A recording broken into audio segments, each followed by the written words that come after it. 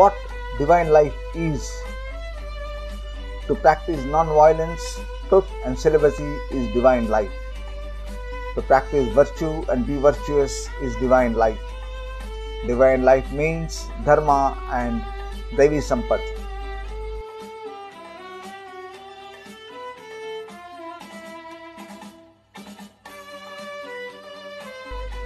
To serve the poor in a selfless and dedicated way is divine life.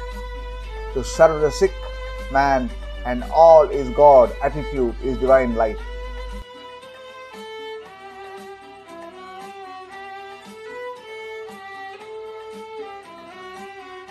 To sing name of God and pray is divine life. To do japa and meditation is divine life.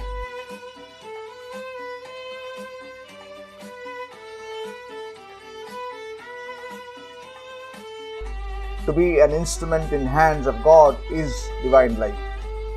To do unconditional self surrender to God is divine life. To restrain the senses and to have God communion is divine life. To be one with divine will is divine life.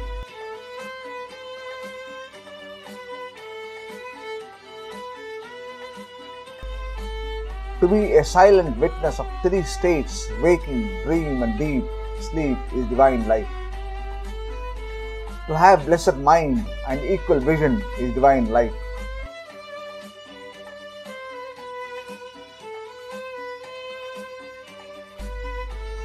The be always aware of God's grace is divine life.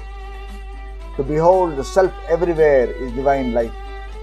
To identify oneself with one's divine nature is the verily divine life.